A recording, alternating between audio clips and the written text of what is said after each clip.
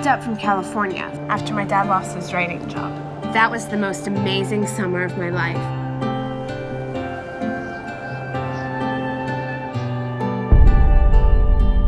Found us on the beach. Hmm, that looks older than me. My people were hunting on the slopes of Neahkahnie Mountain when they saw a strange craft coming. White men carried a large chest up the mountain. They dug a deep hole and put the treasure chest into it and disappeared forever. Hundreds of treasure hunters look for the chest and all have failed because they were not the ones chosen. One who is brave enough not to be afraid of the ghost of the slave.